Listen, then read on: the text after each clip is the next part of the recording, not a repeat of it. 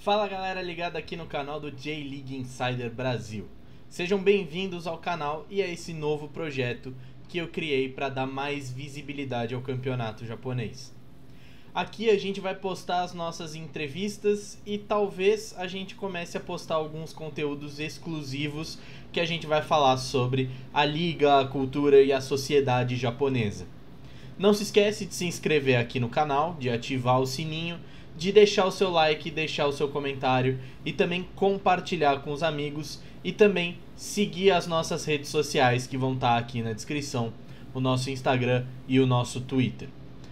A gente vai começar o canal com uma entrevista exclusiva com o goleiro Matheus Vidotto, cria do Terrão, cria do Corinthians, e que hoje é o goleiro titular de uma das equipes mais históricas do Japão, o Tóquio Verde, o primeiro campeão da J-League, ainda sob o nome de Verde Kawasaki, que se transferiu para a capital e agora disputa a segunda divisão, a J2, mas com grandes possibilidades de voltar à primeira divisão no ano que vem. O time, no momento que eu gravo essa entrevista, é o quarto colocado e está na disputa pela segunda vaga direta, mas já está garantido nos playoffs de acesso. E se vencer os playoffs entre o terceiro e o sexto colocado da J2, volta à elite do campeonato japonês. Então, quero agradecer a assessoria do Matheus Vidotto por ter procurado a gente para realizar essa entrevista. E peço a vocês de novo que façam tudo aquilo que eu pedi de se inscrever no canal, aquele procedimento básico, beleza? Espero que vocês gostem e confiram aí a entrevista com o goleiro Matheus Vidotto do Tóquio Verde. Matheus, primeiramente, obrigado por topar pela aqui a entrevista com a gente aqui da J-League Insider Brasil. E eu queria saber de você para começar, você é cria do Corinthians, né? Depois você vai jogar um tempinho no Figueirense e aí vem a proposta de uma equipe histórica, né, do Tóquio Verde, o primeiro campeão da J-League. Como foi para você receber essa proposta? Como que você enxergou essa proposta de, de ir jogar no Japão? Qual foi seu pensamento ali no momento? É, então, assim, eu joguei com alguns jogadores que tiveram muito sucesso aqui, né? E eu sempre ouvi coisas muito boas sobre o Japão. Né? Então, o Danilo jogou no, no Kashima, o Sheik jogou no Urawa, é, e, e, sempre falaram muito bem daqui, né? Oswaldo de Oliveira também foi campeão aqui, inclusive contou muito da história do título do Kashima deles aqui na apresentação dele. Ele, ele, ele chegou e procurou o Danilo, assim, Danilo, cadê o Danilo? Cadê o Danilo? É, que foi uma loucura, né? Eles ganharam ali, eles tinham que ganhar os jogos no, no final do campeonato, enfim. Então sempre tive uma é, uma admiração pelo futebol japonês e pelo país e por, pela cultura japonesa e tudo mais.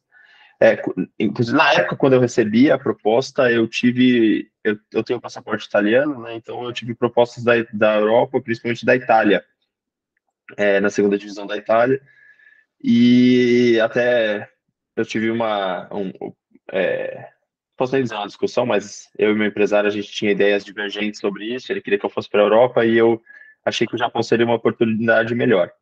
É, além do fato de que eu não conhecia muitos times japoneses, é, mas o Verde era um dos que eu conhecia, né, até toda a história do clube aí, e não estou falando isso porque eu jogo aqui hoje, é, é uma coisa que eu sempre falo para todo mundo, e, e, quem me conhece na época também, eu falei que conhecia o, o clube, e, claro, o clube de Tóquio, enfim. É, então, para mim, foi uma, foi uma decisão muito fácil para mim, inclusive, eu não fiquei balançado entre os dois, assim, quando chegou a proposta do Verde, eu sabia que, é, que, que eu queria vir para cá. Você, é, você chega, né, você é promovido lá no Corinthians, depois de um ano histórico para o clube, né? Você a, a, acredito que você aprendeu muito com um dos principais ídolos da história do Corinthians, que é o Cássio, né? É, como foi para você estar tá ali observando o Cássio? Como essa experiência te ajudou a ser hoje um dos goleiros menos vazados da, da J2? Cara, é, inclusive, quando eu cheguei, eu subi para o profissional junto com o Cássio, né? Em 2012 ele chegou, claro que ele não subiu no profissional, ele chegou é, no Corinthians e eu subi profissional. Então, e, e na época, no, nos primeiros seis meses do ano, é, ficávamos muito eu e ele, por exemplo, ele estava de terceiro goleiro na época, que era o Júlio César o primeiro e o Danilo Fernandes o segundo, o Cássio o terceiro e eu o quarto. É, então a gente, a gente até hoje é muito amigo, mas na época principalmente a gente saía muito junto, é, conversava muito, é, e pô, ele, ele antes de, de, jogar, isso é uma coisa que acho que eu não falei em muitos lugares, ele tava, pô, no, pô aqui tá difícil, é, talvez eu vá para outro clube que eu não posso revelar aqui, mas enfim, é um, é um, clube que foi campeão da Libertadores logo depois. Tá fácil. É, e aí ele tava meio assim, só que aí as coisas na vida dele aconteceram de um jeito que poucas vezes eu vi, né? Em questão de pouquíssimos meses, ele saiu de um cara que estava terceiro goleiro, querendo ir embora, para começar a história dele de, ser, de ganhar o maior título da história do clube, ter atuações e, e, e momentos assim que vão ficar para sempre na história do clube, né? Aquela defesa contra o Diego Souza, a partida que ele fez no Mundial. É, então foi tudo muito rápido, né? Então ele alcançou, alcançou um nível de treino assim. Eu sou goleiro, então naturalmente eu conheço da posição. É uma coisa que eu nunca vi. E assim, eu já tenho muitos anos nessa profissão, mais de 10 anos. Eu treinei com muita gente recentemente treinei com os goleiros da seleção brasileira, Alisson, Everton. Claro que numa situação diferente, você não tá todo dia com os caras ali, né? Mas assim, eu posso dizer que o que aconteceu com o Cássio não foi por acaso. Né? Ele realmente estava num momento assim surreal, surreal, todo mundo percebia. Era um negócio muito diferente mesmo, muito absurdo. E não à toa, quando ele, quando ele teve a oportunidade dele, ele fez o que ele fez. Né? Então, assim, eu, eu, e eu devo muita coisa a ele, ele me ajudou demais, porque ainda mais é, subir num clube gigante como aquele, numa, na situação que estava, tudo dando certo, o time bem e tal. Então, a cobrança era surreal, assim, muito forte, é, e eu aprendi demais com ele, ele me ajudou muito, eu serei eternamente grato é, pelos ensinamentos diretos e indiretos, né, porque observando ele também aprendi muita coisa. Não só ele, como todos, né, trabalhei, pô, eu tive a sorte de trabalhar com cada goleiro sensacional, só os tops do Brasil aí, tanto o Júlio, Danilo, é, o Cássio, o Walter. Então, assim, é uma coisa. Foi, foi uma das minhas sortes aí na vida. Você acha que o Cássio é o maior jogador da história do Corinthians? Sem a menor, menor dúvida. Da hora, da hora. É legal que você tenha conseguido jogar com um cara tão importante e aprendido bastante com ele, né? E você também, já, no, já pelo Tóquio Verde, né? Você reencontrou dois treinadores seus, né? Na época de Corinthians. Você mesmo citou o próprio Tite, né? Que te convidou para fazer um treino com a seleção brasileira aí no Japão. E você também cruzou com o Carilli, né? Que agora está treinando lá o Varen Nagasaki. Como que foi para você reencontrar esses dois treinadores seus no Corinthians e aí agora numa outra fase, o Tite pela seleção, o Carilli treinando aí no Japão? Como que foi para você reencontrar esses dois caras? É, o, o Tite, assim, foi uma, foi basicamente encontrar um familiar, um pai, assim, de, depois de muito tempo sem, sem ver, né? É, pô, foi uma, foi porque eu não, não esperava, né? Porque estamos em níveis completamente diferentes, né? Ele estava treinando a seleção brasileira, é, eu estava no Japão, então assim não é, não foi esperado, mas pô, foi uma satisfação enorme e assim eu fico muito feliz de ver o sucesso que ele, lógico já tinha sucesso no Corinthians, mas pô, ele se preparando para a Copa do Mundo ali, sabe? Foi um, eu, eu fiquei muito muito feliz de ver que eles alcançaram tudo que eles merecem e assim vão continuar alcançando muito mais. O Fábio, eu encontrei ele no ano passado, né? Que a gente jogou contra. No segundo turno, a gente conversou muito pouco ali, muito rapidinho, né, depois do, antes e depois do, do jogo. E esse ano eu, eu encontrei ele no, no aeroporto, a gente veio praticamente junto para cá, né? E aí a gente conseguiu conversar mais, assim, tiramos até uma foto, e esse ano, depois dos jogos, a gente conseguiu conversar bem mais do que nos outros anos, também foi, foi ótimo, assim, é, também não esperava encontrar o Fábio aqui, ainda mais trabalhando e, e jogando contra, né?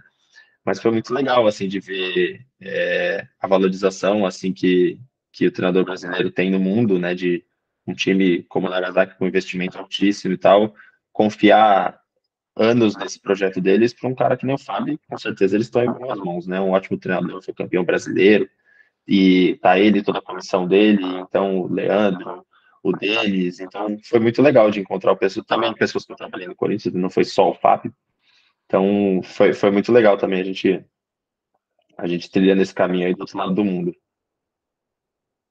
Bacana. E o Brasil, né? Você é um dos caras que representa o Brasil aí no futebol japonês, né? O Brasil, fora os japoneses, é a maior nacionalidade dentre os jogadores nas três divisões da J-League. Como que você enxerga a participação do jogador brasileiro no desenvolvimento do futebol japonês e como a gente pode levar mais jogadores brasileiros a jogarem aí? Uhum. Essa pergunta é muito interessante, porque a gente tende a achar que e na maioria dos casos não é mentira, né? Que ah, o jogador vem para cá para ganhar o dinheiro dele, jogar um pouco melhor do que a média e beleza.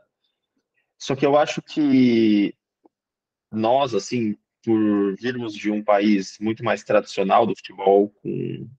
Pô, a J-League começou na década de 90, meu Deus do céu, os times do Brasil são de 1890, sabe, 1900, então não tem como comparar. Então a gente traz uma bagagem muito diferente deles, né? É, então, eu acho que o jogador brasileiro, além de trazer a parte técnica dentro de campo, ele também pode oferecer muito fora de campo. Eu, eu sou muito vocal nas coisas do clube que eu acho que podem ser melhoradas, que eu acho que vai que pode ajudar não só dentro de campo, como fora de campo, entendeu? Então, eu acho que a gente tem essa responsabilidade e, é uma, é uma coisa que eu gosto de ter, entendeu? Porque tem jogador que não, não quer, assim, vai ali, vai fazer assim, não tem problema nenhum, e acho que tá o certo para 99,9% dos casos, entendeu? É que eu tenho uma liberdade muito grande, já estou há quatro anos no mesmo clube, é, então tem um respeito, uma confiança mútua entre mim e o clube ali, então, assim, o jogador que tiver essa oportunidade, eu acho interessante contribuir não só dentro como fora de campo, né? Porque tem diferenças culturais, não só no futebol, como fora, que, que tornam a, torna a mentalidade japonesa muito diferente do que a gente é acostumado no Brasil. Né?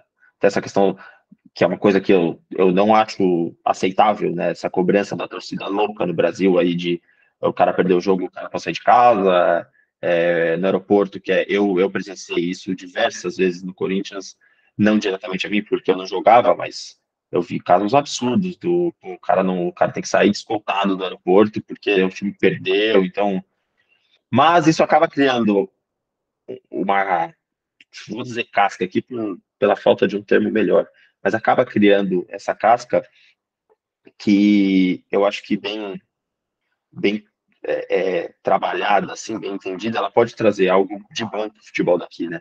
Porque para eles às vezes é muito tranquilo e falta um pouco daquela, sabe, pô, isso aqui é a nossa vida, cara, isso aqui é, é tudo pra gente, é o que coloca comida na sua mesa, sabe, tipo, que às vezes pode faltar um pouco por essa diferença cultural. Então, eu, eu tento contribuir não só dentro de campo, como fora desse, nesse sentido ali. Da hora. E você você hoje está num clube histórico, né? Como a gente falou no começo, é o primeiro campeão da J-League, né? Em 1993, o Verde Kawasaki vence a J-League e você hoje representa esse time, você representa essa torcida. Você está numa das maiores cidades do mundo, que é, que é a capital Tóquio. Qual é a diferença, a principal diferença que você consegue enxergar da vida, cultura de São Paulo, quando você estava no Corinthians, e hoje em Tóquio? essa diferença entre duas grandes cidades do mundo? É, então, assim, eu diria que Tóquio é São Paulo que funciona, a São Paulo eficiente, né? É o que São Paulo deveria ser, né? É, aqui os problemas são, quando eles existem, eles são rapidamente é, consertados, né? Reparados. É, até agora, essa questão da chuva aí, a minha mãe tem negócio em São Paulo e ela ficou Primeiro ficou quatro dias sem água por causa que a Sabesp resolveu fazer uma obra maluca na frente e não terminou. Aí agora está sem luz por causa de cinco, tá mais de cinco dias sem luz. Então são os problemas. Isso sem contar a falta de segurança, é falta de infraestrutura. Pô, você em São Paulo tem que ter carro. Não tem como você não ter carro. E aqui em Tóquio, meu Deus do céu, é impressionante a quantidade de, de estação de trem, metrô, é, ônibus, assim, é muito fácil se locomover para qualquer lugar da cidade. O tempo entre andar de carro e andar de trem é o mesmo. O trem, na maioria das vezes, é mais rápido. Assim, é, essa cidade é absolutamente fantástica. É, ter a oportunidade de morar aqui é, é, algo que eu agradeço todos os dias. É, assim, eu, eu não tenho nada de ruim para falar de Tóquio, realmente, assim, é muito bom, uma cidade que consegue ser tão grande, que consegue ter absolutamente tudo, e ser silenciosa, e às vezes é muito louco, você tá no meio do centro, assim, e você não ouve nada. É, é assim, eu sou muito, muito fã da cidade, então é isso, acho que além da falta de segurança e tal, mas dá para resumir bem que Tóquio é São Paulo que funciona, São Paulo que deu certo. Pois é, né? A gente aqui de São Paulo tá passando um baita perrengue por causa dessa chuva aí. É. É, e, e assim, quando a gente, para quem não acompanha, quando a gente fala do futebol japonês, é, muita gente para para pensar no que vê na Copa do Mundo, né? O pessoal disciplinado taticamente, a torcida que canta e depois está ali recolhendo lixo. É, do que você pôde ver até agora, qual que você acha que é a principal diferença entre o futebol brasileiro e o futebol aí do Japão? Ah, assim, eu vou dar uma, uma que eu, porque eu já, o futebol japonês é melhor do que o brasileiro nesse sentido, e uma que é pior, eu vou falar do jogador, tá? Se você quiser saber de estrutura, dessas coisas, eu posso responder separado. Mas é, eu acho que aqui às vezes falta um pouco de objetividade para o jogador. É, então, às vezes o, o, cara chega na diagonal aqui, é, pô, chuta, sabe? Às vezes as bolas desviam em alguém, mas o goleiro vai tomar, o goleiro vai errar, e o, o cara prefere dar um passo pro lado para trás, entendeu? Então, eu acho que falta um pouco dessa desse poder de decisão, assim, de querer fazer o gol mais, né? É, aí uma coisa que eu acho que aqui é assim muito melhor do que no Brasil é a dedicação dos jogadores, né? É, o meu time, principalmente, a gente é uma das melhores, se eu não me engano, se a gente não tomar gol na próxima rodada, a gente vai ser a sétima melhor defesa da história da, da segunda divisão aqui. É, e não estou falando isso, nossa, o, o, o, goleiro é bom. Eu, toda entrevista que eu dou, eu falo que eu sou o mesmo goleiro do ano passado, e do outro, do outro, do outro. Mas a organização e o tanto que o jogador se dedica, então, os meus pontas, eles voltam o jogo inteiro para marcar no escanteio, é, todo mundo está sempre muito concentrado em não deixar criar espaço. Nosso treinador é muito, ele, ele exige muito dessa parte. E aí aqui o jogador japonês, você não precisa ficar implorando para ele correr, que é uma, é uma coisa que às vezes acontece no Brasil, né? É, se você falar para ele que ele tem que fazer tal coisa, ele vai fazer tal coisa. Então, talvez se se a qualidade dos nossos jogadores é, fosse aliada a essa disciplina, né? talvez o futebol brasileiro voltasse a ser o, o melhor do mundo, o que, o que já foi, entendeu? Então eu acho que tem esse ponto para cada lado. E os jogadores aqui são extremamente técnicos também. É uma, a formação aqui me parece, eu não posso dizer por experiência, nunca não acompanho, mas assim eles são muito bem formados, né? Todo mundo chegando profissional com passe bom, domínio bom. Então é outra é outro ponto bem bem positivo aqui do Japão. E, cara, o Tóquio Verde hoje ele tá jogando a segunda divisão, né? Mas com grandes possibilidades de estar tá retornando à elite no ano que vem. E assim, é uma coisa que a gente viveu recentemente aqui no Brasil, que é uma segunda divisão muito forte, né? Você tem grandes clubes, clubes históricos. Você, você, por exemplo, esse ano jogou contra o Shimizu, jogou contra o Jubileewata, contra o Jeff United, o próprio Kofu, né, que está na Champions da Ásia, uh, o próprio Vegalta Sendai. É, é, é uma segunda divisão muito forte e o Tóquio Verde está conseguindo um grande desempenho, é o quarto colocado nesse momento, mas com chance de pegar a segunda colocação e subir direto.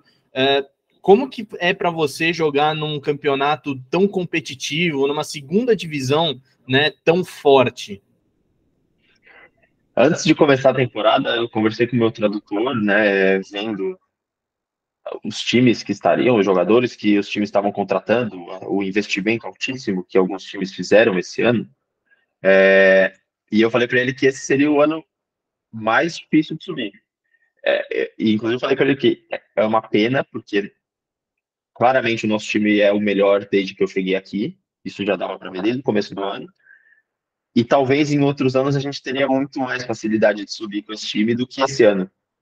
É, esse ano realmente está, assim, fora os times que você falou, o Kayama tem um time muito forte, Oita tem um time muito forte, Gama está fazendo um trabalho muito bom esse ano.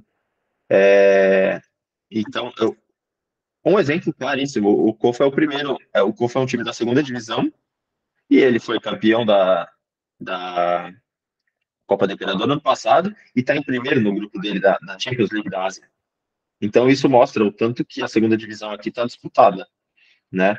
E, pô, o Shimizu manteve o time inteiro que caiu, por exemplo, um monte de jogador aí que jogou Copa do Mundo, que, que segunda divisão do mundo, que você pode dizer isso. Né? Ah, esse cara jogou as oitavas de final, esse, esse cara ganhou da Espanha, esse cara ganhou da Alemanha, não a Copa do Mundo. E a gente, e o Shimizu tem alguns desses jogadores, entendeu? Então, assim, jogador que estava em primeira divisão no Brasil, vindo jogar aqui no Nagasaki, por exemplo.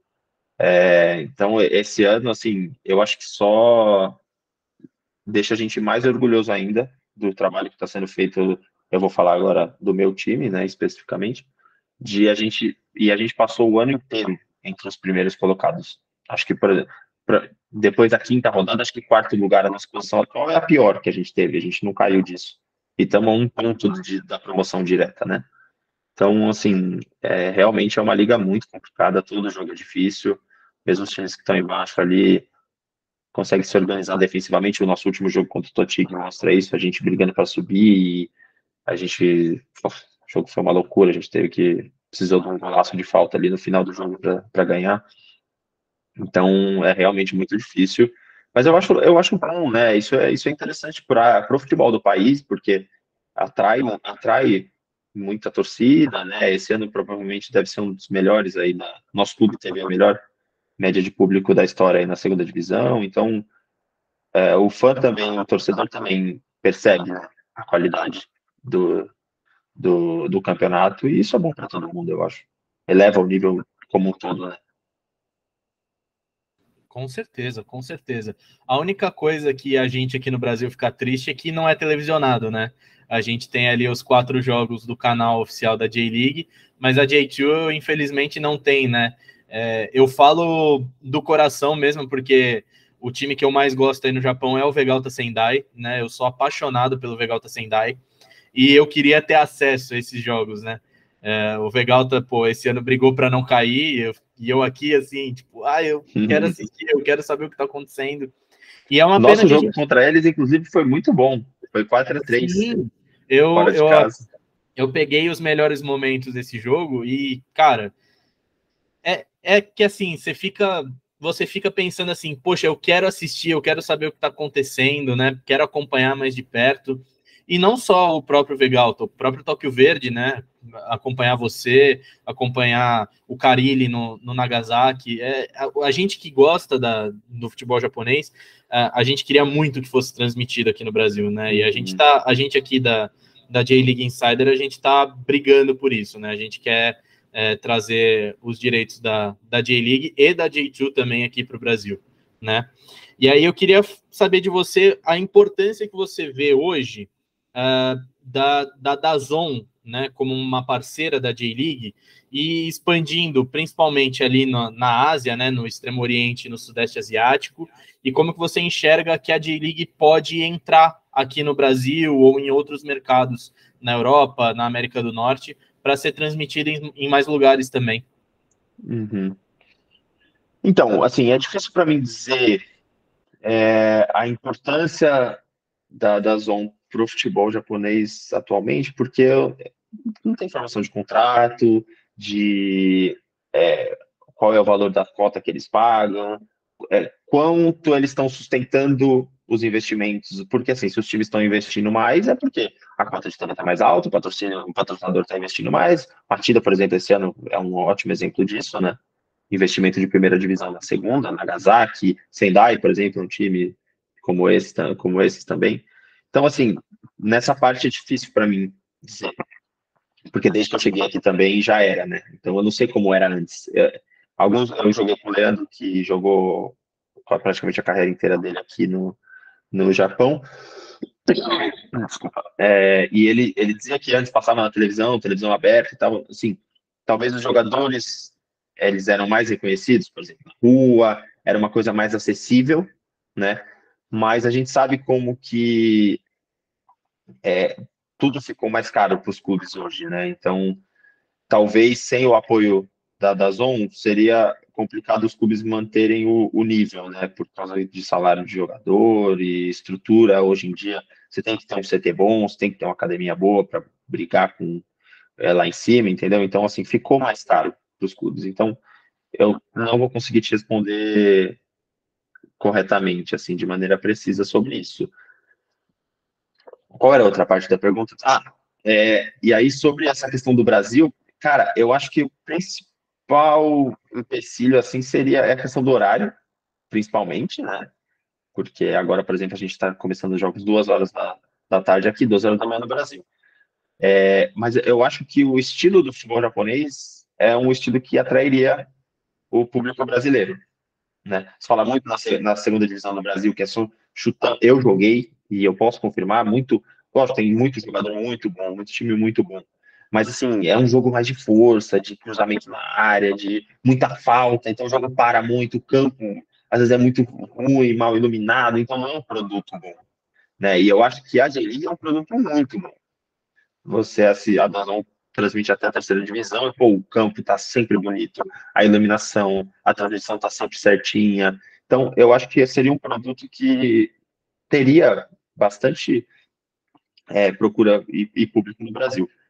Eu acho que para ir entrando é, é o que eles já fazem, mas eu acho que falta um pouco de divulgação. Então é fazer highlight com coisa em inglês. Eu acho que falta muito coisas em inglês aqui, né? O Japão tem essa tendência de ficar fechado aqui, por ser essa ilha e por ser a cultura dele sempre foi muito fechada, né? E eu acho que falta um pouco isso, sabe? Uma comunicação melhor em inglês, ou talvez pega, vai lá, é, faz uma publicação, ah, a gente vai transmitir tantos jogos no Brasil aí, põe no canal do YouTube, eu, eu não sei, entendeu? Mas eu acho com certeza que dá para fazer melhor e, e teria um público que ia gostar de acompanhar esse o tipo de futebol que se joga aqui. Com certeza. E para você, até hoje, qual foi o time mais difícil e o time mais legal que você enfrentou até o momento aí no Japão? Cara, o mais difícil provavelmente foi o, o Nigata de 2021. Eu acho que não, e inclusive não subiu né? Nesse ano subiu. E aí, outro time de 2021 que eu vou falar. Talvez eu, eu esteja falando isso porque o nosso time não estava bem. Foi o nosso pior ano aqui de longe. É, então, assim, a maioria dos jogos eram difíceis, tá? Mas eu vou colocar aí o Nigata em 2021 e o Júbilo também em 2021. Foram dois jogos, assim, que desde o primeiro minuto, assim, a gente já é no. Aqui é só perder de pouco, porque não vai dar. O time mais legal que eu joguei, cara, é difícil não dizer o nosso último jogo agora contra o Jeff. Porque era, eles eram quintos, nós éramos, estávamos em quarto, eles em quinto. E, pô, as duas torcidas, como você disse, tradicionais aí dos clubes fundadores da G-League, é, eles saíram 2 a 0 na frente, aí teve um pênalti, a gente virou, então foi um jogo muito louco. Eu conheço o Dudu, que eu tomei dois gols dele no jogo e depois peguei o pênalti dele, então assim, o jogo foi uma loucura. Provavelmente foi o, o time mais legal, né, que, que, eu, que a gente jogou contra, o jogo mais legal, com certeza. E com relação à torcida, você diria que é a do Jeff também, a torcida mais a, hum. adversária, é claro, né? a que mais fez festa, a que mais te tirou do jogo ali pelo barulho? Hum, Eu vou precisar de um segundo aqui. A torcida, cara. O nosso último jogo agora contra o Júbilo foi muito legal. Fora de casa, o estádio estava completamente cheio e é um estádio pequeno, né? Então tem aquela atmosfera diferente do nosso estádio, que é muito grande, né? É, então, esse jogo do Júbilo foi bom. Eu preciso pensar se teve algum outro aqui, mas.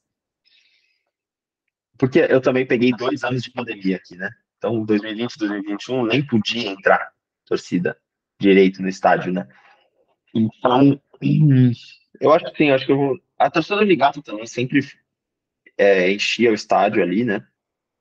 Também era, era bem legal jogar. Legal, mas é difícil pra caramba, mas você entendeu? Jogar contra eles. Mas eu vou colocar aí a do Júbilo, cara. Foi, foi um jogo. Foi uma torcida que atrapalhou, posso dizer assim, barulho e tudo mais. A do White é muito legal também. O estádio deles fechado, eles fazem bastante barulho. Vou colocar essas duas aí. Acho que Júbilo e Oita. Da hora, da hora. E, e assim, né, Matheus? Sendai é puta merda, você tá aí, cara. Sendai é bom pra caramba também. Não, a torcida do Sendai é lendária. O estádio do Sendai é muito legal. Aí a torcida, mesmo o time tendo um ano difícil, como eles estão tendo aí, a torcida lotou o estádio contra a gente. Também é, é muito legal jogar ali. É muito legal. Ganhamos do dois, coração, os dois que eu fui lá, eu ganhei. Como que é ouvir a música do Vegalta Sendai antes de começar o jogo? Cara, pior, eu não, eu não vou lembrar agora, mas eles cantam uma. Tem uma, uma música deles que eles cantam o jogo inteiro, velho. E aí. É... Eu não Será consigo lembrar agora. Country Roads lá? Que eles ficam. Oh, oh, oh, oh, oh, Eu acho que não é essa. Tem uma outra que meu irmão, os caras cantam o jogo inteiro, 2x0 para eles, 5x0 contra eles, 3x1, os caras cantam o jogo inteiro. Você sai do estádio com a música na cabeça, assim. Nossa. É, Sendai, Sendai é uma torcida muito, muito foda. Eu, é, uma das é. razões que me fez torcer pro, pro Vegal, tá além da, de toda a história de 2011, né? É essa torcida apaixonada. E é a torcida como tem que ser a torcida. Sim, é, na, na, segunda divisão, definitivamente uma das melhores, se não for a melhor. Da hora. E, e assim, Matheus, é, hoje a gente está tendo um grande fluxo né, de, de espectadores para a Ásia, principalmente pelo campeonato saudita. É, eu não sei como repercute aí né, a questão da, dos times sauditas, né, contratando Cristiano, Neymar, é, mas a gente viu recentemente né, o Al Hilal eliminando o Flamengo no Mundial de Clubes e depois, alguns meses depois, perdendo a final da Champions da Ásia para o Urawa Red Diamonds, né? Uh, então a gente consegue ver que mesmo com o, os investimentos sendo feitos, o Japão consegue bater de frente com esses times da Arábia Saudita. Queria saber de você como que você enxerga o, o projeto do Tóquio Verde voltando para a primeira divisão, brigando por essa Champions da Ásia e se você consegue enxergar é, no Tóquio Verde uma equipe estruturada para bater de frente com essa grana da Arábia Saudita, né, para continuar esse, é, como eu posso dizer, esse, esse monopólio, entre aspas, do Japão ali na, nas competições da AFC? Ah, assim, é, o, apesar do investimento, os times japoneses conseguem é, brigar porque é muito organizado. Né? Talvez até não tenha o, a estrela ali, o jogador que esses times podem contratar, mas os times japoneses são muito fortes pela organização. Então acaba compensando um pouco, né? E, cara, hoje não. Eu vou ser bem sincero. Acho que o nosso time começou a se reestruturar é, ano passado.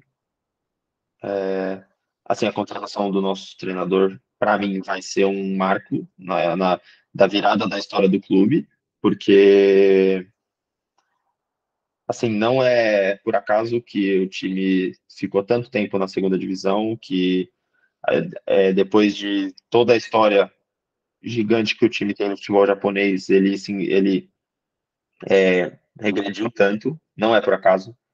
Eu não sei o que aconteceu no meio do caminho, mas tinha muita coisa que precisava ser mudada aqui, sinceramente. É, e claramente o clube percebeu isso e desde, desde o meio do ano passado ali, é, não só porque os resultados melhoraram, não é só por isso, mas é, eu sempre falo ali em reunião, nas nossas reuniões internas, que o time está fazendo as coisas certas, o time é, entendeu é, que não é só contratar o jogador que ele vai resolver, vai chegar em campo, vai resolver, o time vai subir, tudo vai dar certo, não é, tem toda a estrutura por trás, tem todo o dia a dia que o clube precisa dar o suporte para o jogador, é, departamento médico, academia, comida, é, roupa, então é, é campo de treino, então é, eu não posso te dizer que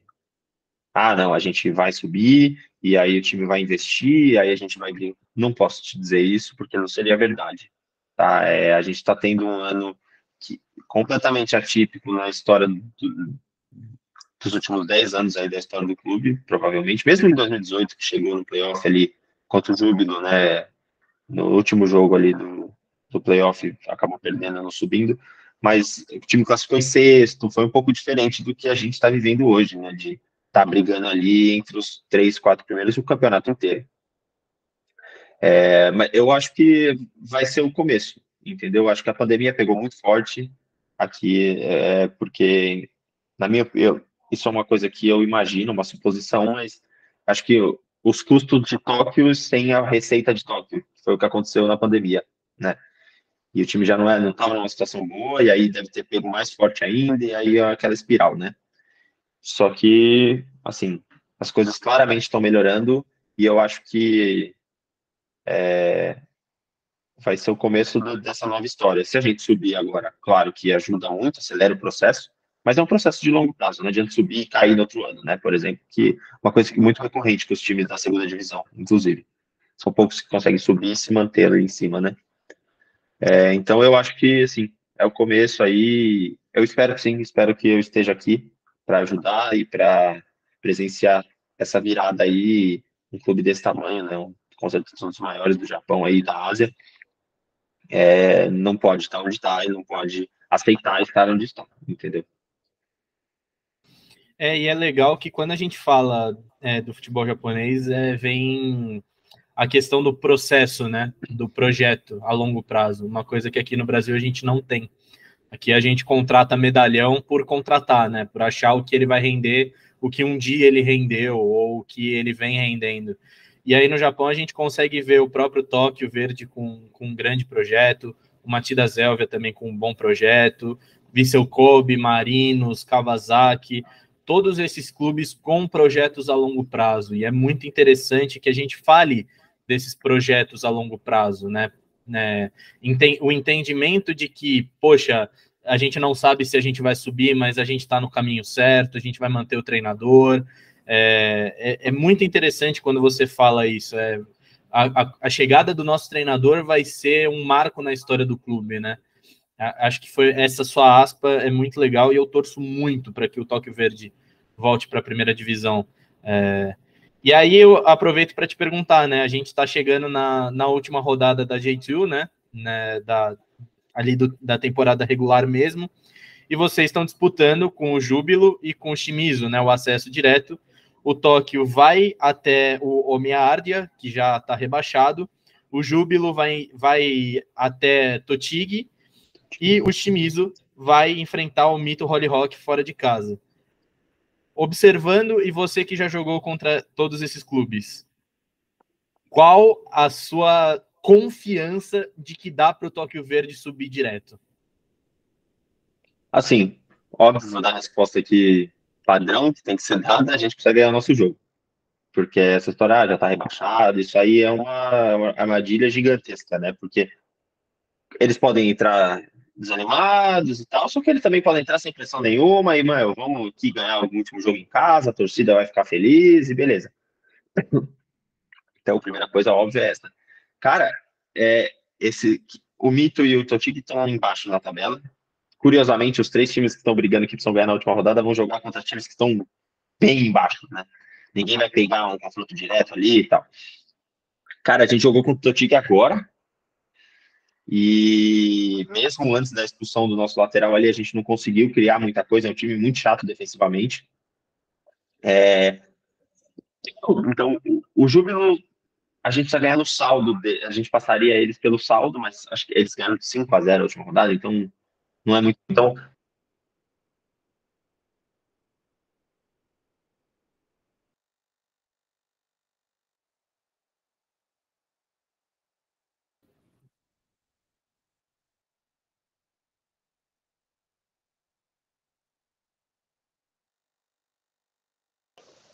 Tá me ouvindo? Tô te ouvindo. Agora meu fone desconectou. Puta, tá difícil, hein? Vamos lá, Cara, vou responder do, do começo. Você estava falando do que o mito é muito. que o Totig é muito difícil defensivamente, né? É, então o Totig, eu, assim, eu não acharia estranho rolar um empate ali 0 a 0 1 a 1 alguma coisa nesse sentido, que já serviria pra gente, né? Cara, o Shimizu é, é, O único também considero um time é, bom defensivamente, mas eles perderam 5 a 0 para o Júbilo agora. Né? Então, não sei o que aconteceu, não assisti o jogo completo. É, mas, é, mas é curioso que o Shimizu ganhou praticamente todos os jogos contra times de cima. Nós perdemos os dois para eles, eles ganharam agora do Júbilo também, ganharam do Nagasaki, ganharam do Matida, ganharam de todo mundo. Só que eles perdem muito ponto para times que estão embaixo. Então eles acabaram, eles perderam do Kumamoto de 3 a 1 em casa há uns jogos atrás e empataram com a Kita fora. Então, assim, talvez esse milagre possa acontecer. Eu não vou te falar que eu estou esperando por isso, a mais que pô, o time entra é, motivado, pô, se a gente ganhar, a gente vai subir direto. Então, assim, que pode ser uma coisa boa né? Pode ser, pode ser que pressione eles mais, mas um jogador experiente, não acho que vai acontecer. Então, assim, sinceramente, eu, eu esperaria talvez o Júbilo um empate ali contra o Totig, acho mais possível do que o Shimizu não ganhar. E aí, qualquer resultado, qualquer resultado que não seja vitória dos dois, e se a gente ganhar, seria o, o milagre aí acontecendo. Né? Mas acho complicado. É, mas futebol é assim, né? Vamos, vamos ver, como eu falei concentração para o nosso jogo, esquecer, não ficar perguntando, é, foco total no nosso jogo, porque também, mesmo se não subir direto, tem o playoff, e a gente sabe que o playoff esse ano é um pouco mais fácil do que antes, né, que tinha que jogar com o time na primeira, fora de casa, pelo empate, é, que era, inclusive, absolutamente injusto. Se fosse na, na Série B do Brasil, a gente já teria subido, né? Subiriam os quatro primeiros. Então, é, mas é, é isso. E o, o playoff também, né? Que vocês já estão garantidos, né? Pelo menos isso. Também tá bem disputado, né? A gente vê que tem o Júbilo e o Tóquio já garantidos. E a gente tem o Jeff em quinto, o Kofu em sexto. E aí, com 64 e 62 pontos, podendo chegar também, tem o Yamagata e tem o Nagasaki, né? E... Todo mundo vai jogar. É, então. Isso que é, aí... vai, ser, vai ser uma loucura. Sim, exato. E aí eu queria saber de você como que você está é, enxergando, né, essa configuração do playoff, né? Óbvio que o Júbilo é um time muito difícil de se jogar. Você já falou que vem muito bem, que é um time quando você joga lá em Iwata é muito complicado, né, com a torcida. Mas ao mesmo tempo você também tem a possibilidade de pegar um time que está jogando na Champions da Ásia, tem o Jeff, que é muito, muito tradicional também, o Nagasaki do Carilli. Como que você está enxergando essa possibilidade do playoff também? Cara, eu até assim, mesmo que a gente não suba direto, se o Júbilo empatar a gente ganhar, por exemplo, eu acho que a vantagem de jogar em casa pelo empate vai ser muito, muito, muito importante, porque todos os times são muito parecidos, o nível é muito parecido. É, e Cara, eu não, eu não consigo te dizer assim, e eu tô sendo bem sincero aqui, né? Tipo, ah, tomara que tal time ganhe de tal time pra gente jogar no playoff, porque, como você falou aí, é, pô, o, o, o, claro, o Júbilo tá ali brigando com a gente, nem vou comentar, mas o Jeff, pô, duro assim, time que acho que tá tendo aí os dos últimos 10, 12 jogos, é a melhor campanha, ganhou praticamente todos os jogos. Nagasaki tem um monte de jogador bom, o artilheiro do campeonato, o puta treinador.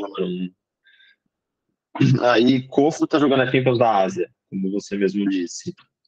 Yamagata todo ano que entra no playoff chega até o final. Então, assim, nossa, não consigo nem te dizer se, se eu tenho alguma preferência. Eu só sei que vai ser muito difícil. Que bom que o primeiro jogo em casa tá, garantido, é, tá praticamente garantido que a gente joga o primeiro em casa pelo empate, né? Então isso é muito importante. É, mas, cara, vai ser duríssimo. Aí o playoff são duas finais mesmo e ninguém sabe o que vai acontecer. E eu também não sei quem vai classificar. Boa. Para gente encerrar as últimas três perguntinhas rápidas, queria saber de você um ídolo seu no futebol, né? Algum. É assim, dois, dois ídolos. Um ídolo que você assistiu jogar, que você se inspirou bastante, e algum que você tenha jogado junto ou sido treinado por ele. Cara, vai meio que ser o mesmo, hein? Mas tá, vou dar outra aí.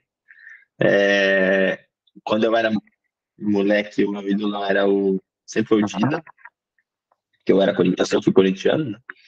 E o Dida, nossa, ele ganhou tudo, ganhou brasileiro, paulista, Copa do Brasil, ganhou tudo pelo Corinthians. E sempre achei impressionante, assim, muito, muito valeu. Pegava a bola que ninguém pegava embaixo das traves, né? E eu, eu não tenho como ser o passo, né? É, acho que não só eu, como qualquer corintiano aí o que o cara fez nos últimos 10, 12 anos aí é absolutamente incrível.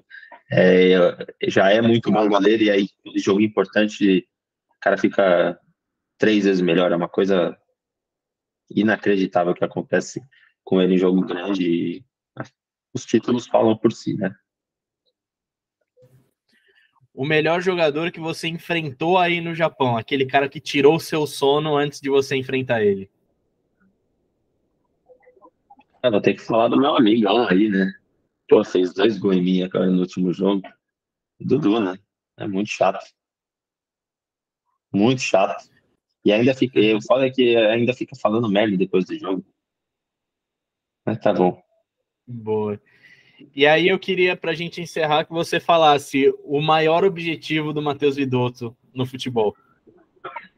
Ah, eu sou, eu sou uma pessoa de sonhos curtos. Eu acredito nos sonhos curtos.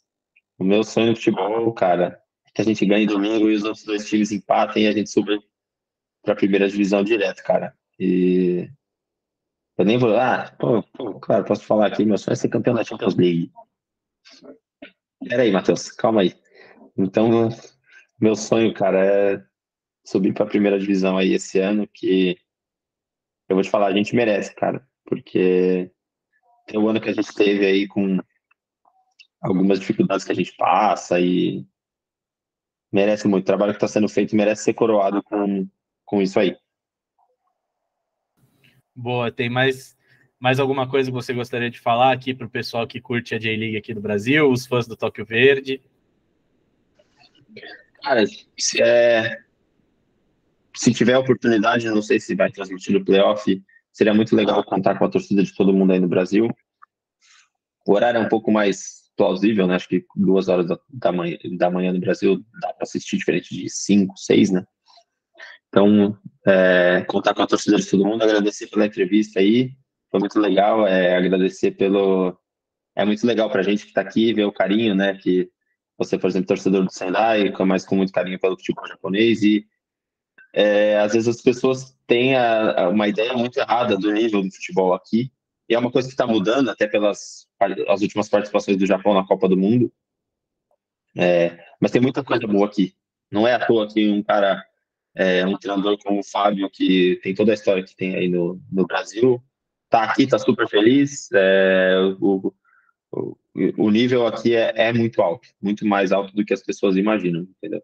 Então, é, chamar as pessoas para acompanharem mais, eu sei que não é fácil, que não transmite e tal, mas tem muita coisa boa aqui, eu tenho certeza que é, é, o pessoal do Brasil vai, vai se surpreender muito com o nível do futebol japonês. E é isso, só agradecer mesmo. Muito obrigado. A gente que agradece, Matheus. Eu sempre lembro você que você está estreando, né? Nosso canal no YouTube aqui do J-League Insider Brasil. Agradecer demais. vocês aí. Obrigado, obrigado. A gente agradece demais o seu tempo, a sua paciência aqui, mesmo com, com tudo que está acontecendo aí nos, nos últimos dias aqui em São Paulo, com todas as dificuldades que a gente teve para gravar. Obrigado mesmo, muito sucesso para você, muito sucesso para sua família, que estaremos torcendo aqui, eu principalmente, mesmo torcedor do Sendai, estarei torcendo aqui para o Tóquio Verde subir direto, viu? Obrigado, obrigado de verdade. Valeu, eu que agradeço, muito sucesso de novo aí, tudo de bom, um abração, tchau, tchau. Valeu. Valeu. E não se esquece você de se inscrever no canal, de deixar o seu comentário e de compartilhar para os amigos aqui essa entrevista com o Matheus Vidotto, goleiro do Tóquio Verde. Valeu, obrigado e até mais. Valeu, valeu, gente. Obrigado. Tchau, tchau.